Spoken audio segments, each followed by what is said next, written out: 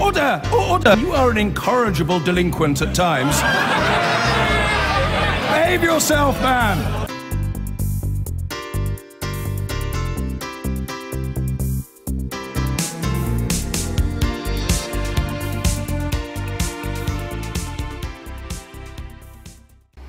A fiasco. That's how the inquiry into child sex abuse in England and Wales has been described after its most senior lawyer was suspended last night. It's the biggest public inquiry in British history, as you know, set up a couple of years ago by Theresa May in her role as Home Secretary, and it's already cost more than £20 million. And the latest twist in this sees a, a senior QC, a man called Ben Emmerson, being temporarily removed from his post. It's raised, raised questions about the whole future of this inquiry. A spokesman for Alexis Jay, the inquiry's fourth chairwoman, says the suspension comes after concerns about aspects of Mr Emmerson's leadership of the counsel team. A former director of public prosecutions, Lord MacDonald, says the inquiry is now careering out of control. It's the latest in a line of con controversies, a long line of controversies involving the inquiry in the last couple of years. Baroness Butler Sloss was appointed as chairwoman of the inquiry the day after it was announced, but stood down just a week later. Dame Fiona Woolf succeeded her, but resigned after a couple of months. They'd both been criticised for being too close to the establishment. Then Justice Lowell Goddard took over the role in February 2015, but resigned last month. In her statement, the New Zealand judge said the legacy of failure had been very hard to shake off. Prof Professor Alexis Jay, who reported on child sexual exploitation in Rotherham, is the current chair. It was hoped her appointment would bring some stability to the process. But now Ben Emmerson, who served as counsel to the panel since October 2014, has been suspended from his role. Yesterday, the inquiry said they would investigate concerns over the leadership of his team. Mr Emmerson has said he was unable to comment at this time. So let's talk to various people about the future of this inquiry, including Peter Saunders, yeah, I'm trying to. Peter Saunders, who is member of the Victims and Survivors Consultative Panel and founder of the National Association for People Abused in Childhood. We also have Michael Pether, who is a partner at the BLM Law, who specialises in child sexual abuse claims. And in Edinburgh, we're joined by Ian McFadyen, who is a campaigner and survivor of abuse. He's applying to be a core participant in this inquiry. Uh, welcome all of you. Let's start with you, Peter, if I may. Uh, what do you think of this latest development? Good morning, Victoria. Morning. the, the, the, the, inquiry is, uh, as your introduction says, it's the, the biggest inquiry in, in British history. And I would argue it's probably, in a sense, the most toxic of issues to be examined. You know, we're talking about the abuse on an industrial scale of children over generations.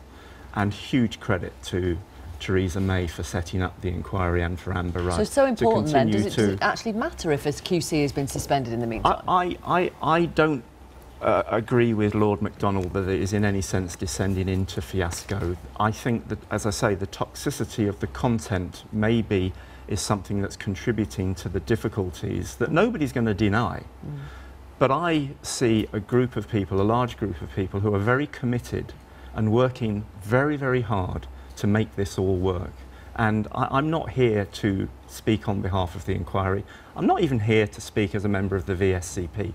I'm here What's speaking the, VSCP, the Victims and Survivors Consultative Panel, right. who, who again were boldly appointed to, to advise the, the work and have been doing a sterling job. I'm, okay. I'm here as the founder of NAPAC and a survivor who wants the truth to be told, okay. and this is our best bet yet. So these, th there have been hiccups, and there will be hiccups in the future. It's the nature of the inquiry, I'm afraid, and I'm, I'm, I'm saddened that so many people continually have a pop at it before it's even really had a chance to get off the ground. Okay. The nature of these things, it's just a hiccup, Michael Pether. Do you agree? I, morning. I, I do endorse Peter's, Peter's view. It's, uh, unfortunately, the history of the inquiry has been um, marred by negative press and negative developments.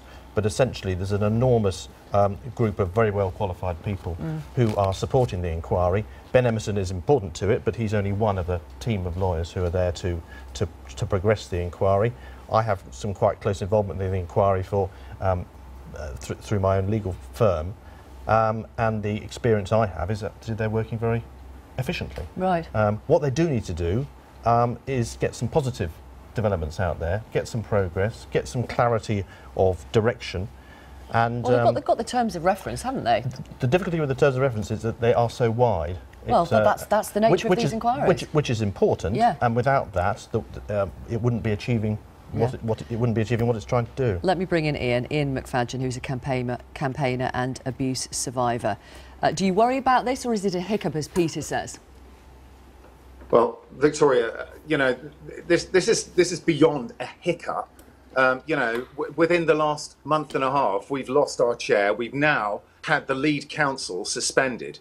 Um, at, at what stage are people going to understand this is this is not about hiccups and issues that we can resolve. This is about examining why this inquiry is failing us as survivors. You want us to engage in this inquiry you know, as we have done since the beginning, then it needs to be fit for our purposes. You know, I have people who've been waiting a lifetime for this inquiry.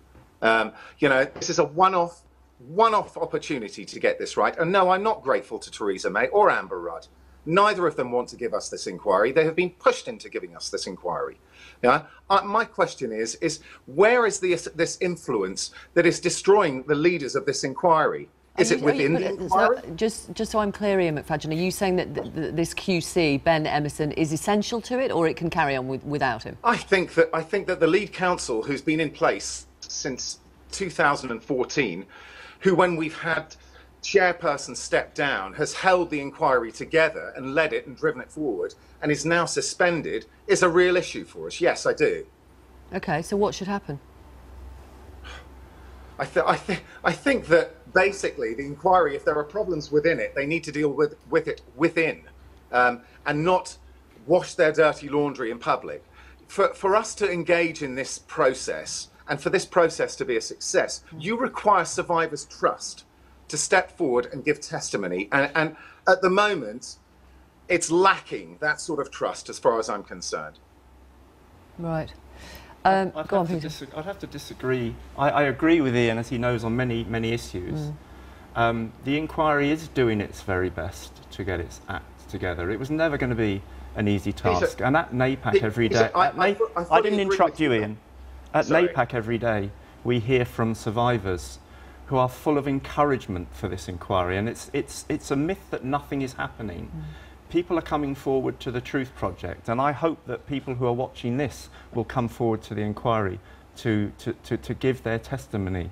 There will be interim reports. The panel and other members of the inquiry are already doing a great deal of work. As I say, I'm not speaking for the inquiry, but I witness what is going Okay, on. well, and it Ian will never be good enough for some people, Sure. Unfortunately. ver- but let's get on with it. Very briefly, Ian McFadyen, let's get on with it. Let them crack on with it. Briefly.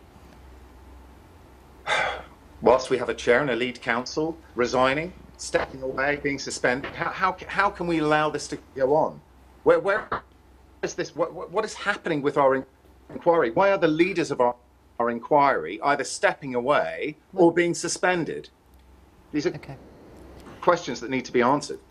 Thank you. I'm going to leave it there. But thank you very much for coming on the programme. Thank, Thank you. you. Thank you. I've been getting